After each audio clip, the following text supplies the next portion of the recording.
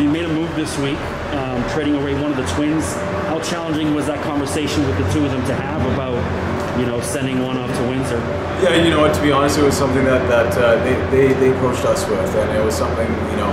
Um, Alex is a great kid. I, I think the reality was he was looking for a bigger role on the team, and uh, we were able to, to find him that with Windsor. So um, it's something that happens in our, our business. Uh, the boys are both pros, and they want to be hockey players. They understood that this might be something that happens at some point in their career, but um, it was it was a hockey move and, and, something that we were happy to help Alex get a better opportunity. And um, we know a good player.